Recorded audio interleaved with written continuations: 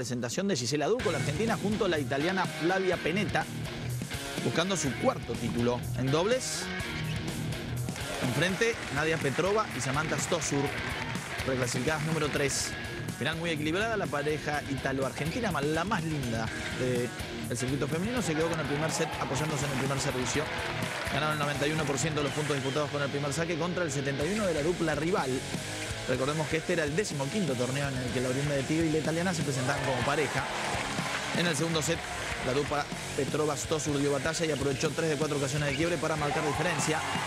6-3, 4-6 los primeros dos, todo se definía con un 17 y con este abrazo para las chicas, la argentina y Flavia Peneta, la italiana, cuarto título que logra la pareja en seis finales disputadas después del juego, la palabra de Gisela Du.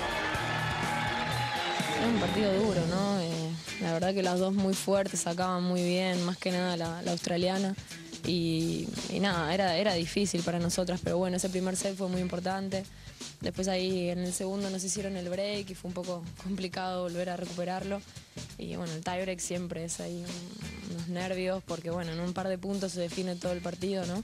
Entonces, bueno, creo que todas hicimos algunos errores, pero bueno, por suerte nosotras pudimos controlar un poco mejor los nervios y sacarlo bien. Yo creo que en estos casos, en estos partidos puede pasar cualquier cosa. Con el super tiebreak, el no ad y todo esto, tienes que estar siempre muy prendida porque el partido va a cambiar de momento por otro. Y nosotros perdimos segundo con nuestra chance y empezamos el tiebreak prendida, un poco tensa, pero intentando aguantar lo más posible.